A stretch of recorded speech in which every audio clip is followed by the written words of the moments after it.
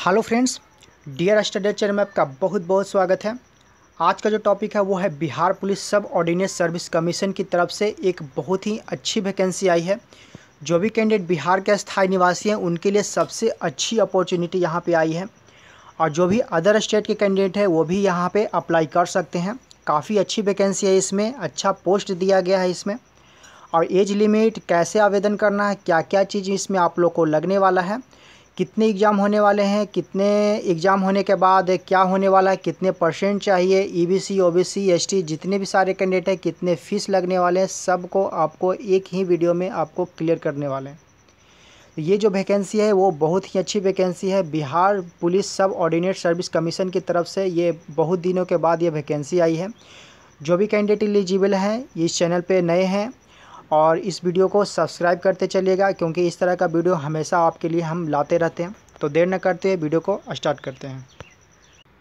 तो चलिए फ्रेंड्स, यहाँ पे वीडियो स्टार्ट हो चुकी है, जो कि बीपीएसएससी की तरफ़ से ये जो वैकेंसी आई है, इसमें जो है आवेदन की प्रक्रिया जो स्टार्ट होने वाली है, वो 16 आठ 2020 यानी कि रविवार से स्टार्ट हो जाएगी, और अंतिम तिथि जो दिया गया है, वो चौबीस नौ 2020 यानी कि गुरुवार को ये खत्म होने वाली है। विज्ञापन संख्या तीन 2020 दिया गया है पोस्ट की संख्या की बात कर ले तो इसमें दो पोस्ट दिए गए हैं। पहला जो पोस्ट है, पुलिस अवर निरीक्षक, और दूसरा जो है प्रक्षर अवर निरीक्षक। यानी इसकी, इसमें जो दोनों में वेतनमान होने वाली है, वो दोनों में वेतनमान एक ही होने वाली है।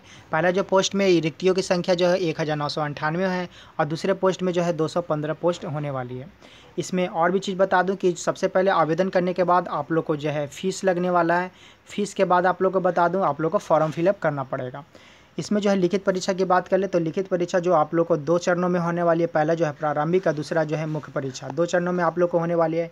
पहला की बात कर लो, प्रारंभिक परीक्षा में तो दो सौ अंक की होंगी और क्वेश्चन जो होने वाली है सौ होगा। सारे क्वेश्चन जो है दो दो नंबर के होने वाले हैं और इसमें जो है तीस प्रतिशत से कम अगर आप लाते हैं तो आपको असफल घोषित कर दिया जाएगा।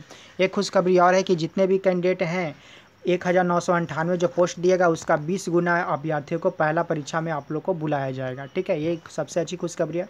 दूसरे नंबर पे आता है मुख्य परीक्षा। पहला अगर पास कर लेते हैं तो दूसरे परीक्षा में आप लोग को दो एग्ज़ाम होने वाले हैं। पहला जो है 200 नंबर का हिंदी होने वाला जो कि सौ क्वेश्चन रहेंगे और दो दो नंबर के होंगे 200 नंबर का। दूसरा है, दूसरा में जो है आप लोग को ये विज्ञान होने वाला है, नागरिक शास्त्र इतिहास और भूगोल और गणित, मानसिक योग्यता, सारे मिली रहेंगे और इसमें भी दो सौ नंबर का होगा और सौ क्वेश्चन होने वाले और दो घंटा का अवधि का आप लोग को देने वाला है। और नेगेटिव मार्किंग की बात करें तो नेगेटिव मार्किंग आप लोग को ज़ीरो पॉइंट टू काटा जाएगा और सारे कैंडिडेट जो भी कैंडिडेट नहीं चैनल को सब्सक्राइब करते चलिएगा, ठीक है? अगला जो है, इसके बाद आप लोग को मेरिट लिस्ट लगने वाला है और मेरिट लिस्ट लगने के बाद आप लोग को चयन होगा। और इसमें जो पीटी की बात कर लूँ तो पीटी जो आप लोग को दिया गया है, वो अत्यंत पिछड़ा के लिए हाइट दिया गया है, एक सौ पैंसठ सेंटीमीटर का हाइट दिया गया है। और ओबीसी और जनरल दोनों का एक सौ पैंसठ दिया गया है और जो E B C E EBC EBC या एससी एसटी है, वो भी 160 सेंटीमीटर दिया गया है और जो भी कैंडिडेट महिला हैं, उनको 155 सेंटीमीटर का हाइट दिया गया है।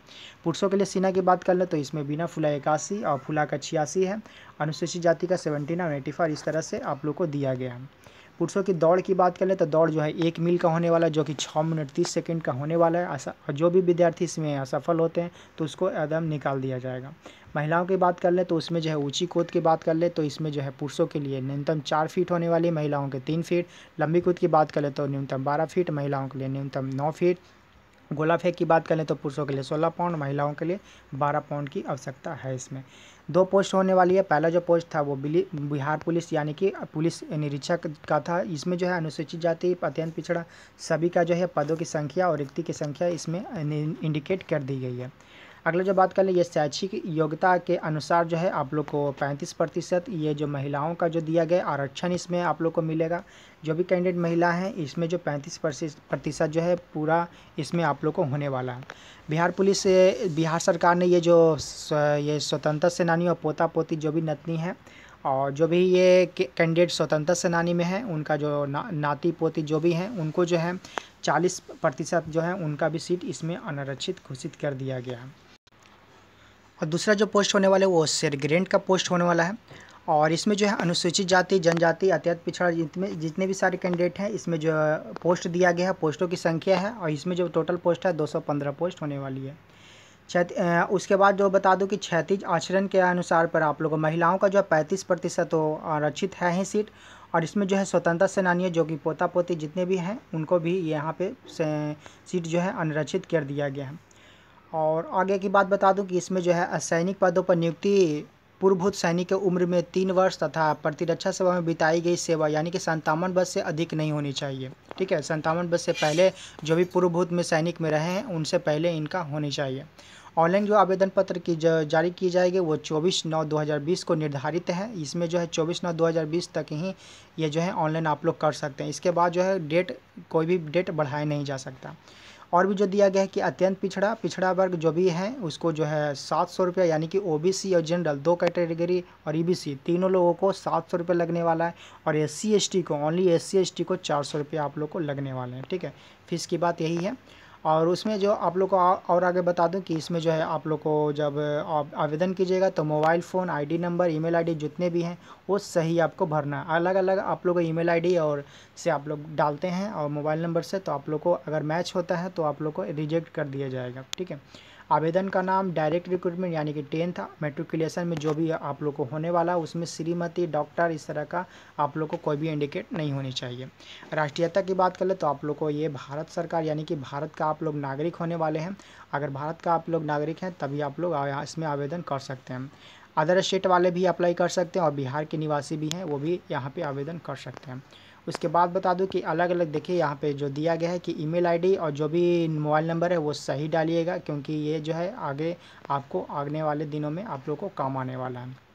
वर्ग की बात बता दो तो E B C O B C S T जो भी कैंडिडेट हैं, पंजीकरण जब आप लोग कीजिएगा तो उस वक्त जो है आप लोग को उसमें वहाँ पे प्रस्तुत करना होगा। देखिए यहाँ पे एक सबसे बड़ी चीज़ दिया है कि E B C O B C S T जो भी आवेदक होंगे, दस्तावेज़ सत्यापन के समय जो भी दस्तावेज़ सत्यापन करेंगे, आवेदक बिहार के निवासी नहीं हैं तो सामान्य वर्ग के चयन करना होगा, ठीक है? वो कैंडिडेट जनरल कैटेगरी में जाएँगे और जो भी E B C S T जो भी कैंडिडेट हैं, आप अपना सर्टिफिकेट भी बना के तैयार रखें, क्योंकि इसमें हो सकता है ज़रूरत आप लोग को पड़ने वाला है। इसमें जो है डायरेक्ट रिक्रूटमेंट अगर जो है एक चीज़ और बता दूँ कि E B C O B C S T जो भी कैंडिडेट हैं, वो सर्टिफिकेट बनाने के साथ साथ उसमें जो है एक जनवरी 2020 से पहले ये जो न्यूनतम आयु जो दिया गया है, ये 20 वर्ष और अधिकतम सैंतीस वर्ष ये होनी चाहिए, ठीक है? उसमें जो इंडिकेट किया जाना चाहिए। एक सर्विसमैन की बात कर लो तो इसमें भी सैंतीस और चालीस और अधिकतम मैक्सिमम जो है संतावन वर्ष दिया गया है।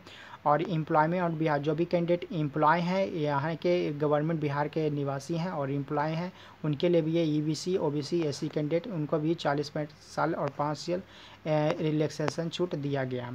डिटेल्स की बात कर लो अगर आप लोग का फॉर्म गलती हो जाता है पंजीकरण गलती हो जाता है तो इसमें जो है आप लोग का पैसा वापस नहीं किया जाएगा, ठीक है? यहाँ पे नोटिस दिया गया है, यहाँ पे देख देख सकते हैं कि एक बार एक बार भुगतान करने के बाद आवेदक भी एडिट नहीं कर सकते, ठीक है? एक बार आप लोग का भुगतान हो गया तो आप लोग का पैसा भी वापस नहीं होगा और एडिट भी नहीं कर सकते हैं, ठीक है?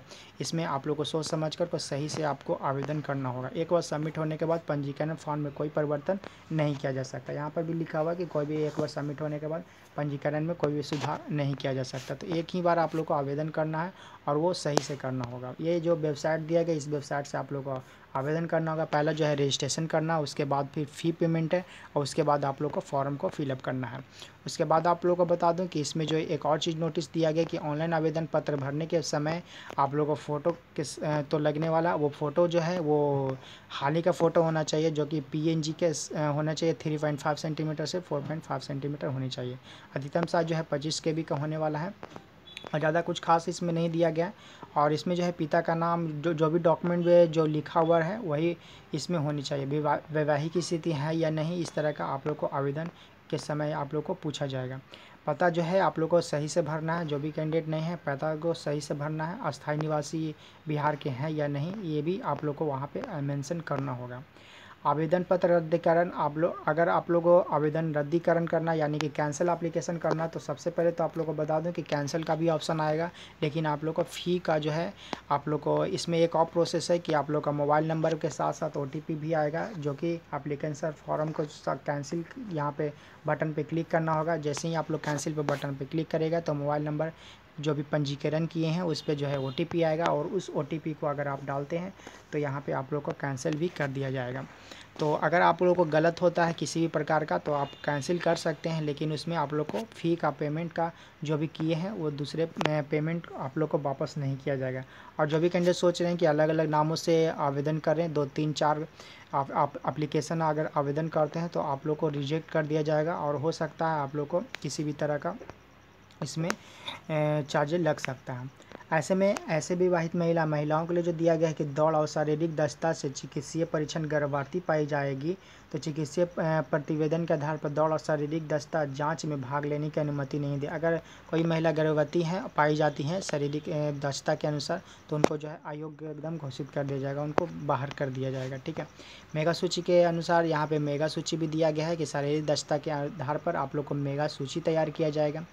और इसमें जो है आवेदन जो पत्र दिया गया है, इसमें लास्ट जो दिया गया है, चौबीस नौ दो हज़ार बीस, यहाँ पर एक चीज़ नोटिस दिया गया है कि चौबीस नौ दो हज़ार बीस तक निर्धारित है कि और इसके बाद जो है विस्तार नहीं किया जा सकता तो ये इसके अंदर ही आप लोग को आवेदन कर लेना है। और ईमेल आईडी, खास करके ईमेल आईडी और लिखित, और जो भी ईमेल आईडी और मोबाइल नंबर है, वो आप लोग को सही भरना है।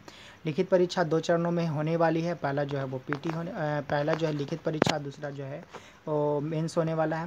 मेंस परीक्षा में 200 नंबर का हिंदी पूछेगा और 100 नंबर का जो 200 नंबर का वो है जनरल, उसमें जिसमें मैथ, भूगोल, साइंस सभी उसमें मिली जुली रहेंगे। ज़ीरो पॉइंट टू टू का इसमें जो है नेगेटिव मार्क होने वाला है। और जो भी कैंडिडेट नहीं चैनल को सब्सक्राइब कर लीजिएगा, क्योंकि इस तरह का वैकेंसी हम हमेशा आप के लिए लाते रहते हैं। तो आप लोग आवेदन अच्छी तरह से करें और जो भी कैंडिडेट नहीं चैनल को सब्सक्राइब ज़रूर करिएगा तो यहाँ पर वीडियो देखने के लिए थैंक यू एंड धन्यवाद।